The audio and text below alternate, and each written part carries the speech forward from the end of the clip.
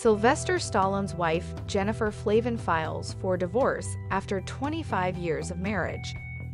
Jennifer Flavin filed a petition for dissolution of marriage and other relief from the Rocky actor on Friday at a court in Palm Beach County, Florida. Stallone and Flavin, married in 1997, though their relationship originally began in 1988 at a restaurant in Beverly Hills, California. They have three daughters, Scarlet, Sistine, and Sophia. Stallone is also a father to son Seargeoh from his previous marriage to Sasha Czack. His oldest son Sage, whom he shares with Starlin Wright, died in 2012. In a statement, Stallone said, I love my family.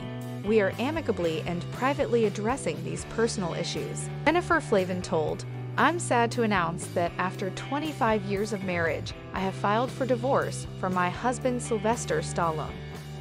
While we will no longer be married, I will always cherish the more than 30 year relationship that we shared, and I know we are both committed to our beautiful daughters. I ask for privacy for our family as we amicably move forward.